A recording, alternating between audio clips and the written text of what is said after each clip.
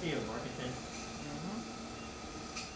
TORS represents transoral robotic surgery, and it is a minimally invasive way to approach tumors in the tonsil and the back of the tongue. We can treat men, which is who I primarily see, with HPV tumors.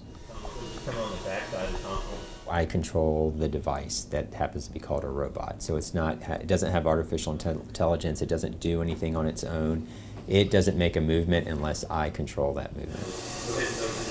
The advantage of TORS is that one, we can really help eh, the quality of life with swallowing and the quality of life with dry mouth, which we don't see as much because of the reduced dose of radiation if patients need that. In addition, there's no problems with breathing. You don't need a breathing tube or a tracheostomy tube afterwards. So here's the tumor. The typical signs and symptoms of throat cancer in the tonsil or the back of the tongue are silent, and that's what makes this so difficult.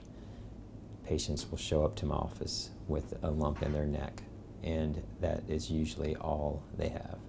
No sore throat, no other symptoms, no problems speaking. It makes it very difficult. Pathology will tell us the truth, but I think this is as good as it could get. No dysplasia or carcinoma at this margin. If you had to put a silver lining on it, it the patients are, it, it's a very treatable cancer. We have outcomes looking at 85% survival rate, which is very high.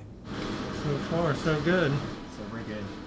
Okay. All right, I'm gonna head back to the OR. Okay. Thanks, Steve. Sure.